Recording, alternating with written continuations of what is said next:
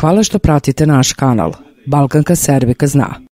Lajkujte i pretplatite se na naš kanal.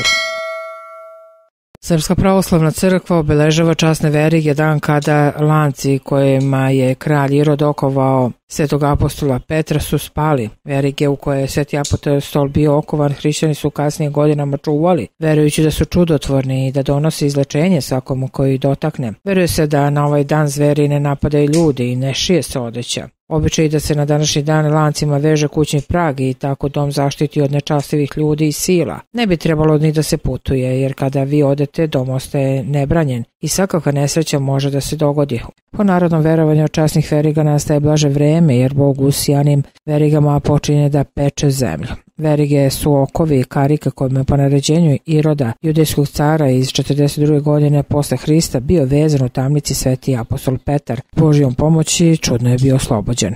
Hvala što pratite naš kanal. Balkanka Serbika zna. Lajkujte i pretplatite se na naš kanal.